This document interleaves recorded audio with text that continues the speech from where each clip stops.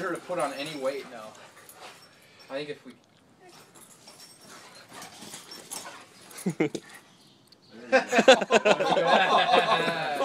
Getting the froth. it's like the, the like the dog from Sandlot or something. Oh wait, this Oh, is man. this is poop I'm not familiar with here. poop with the They're like, time out.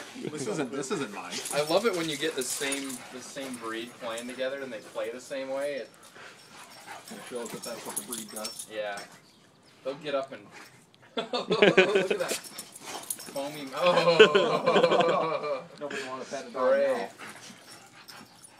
Yeah, because whenever, because whenever when I had Annie and Annie would come over, Annie would always go. She would go for the under.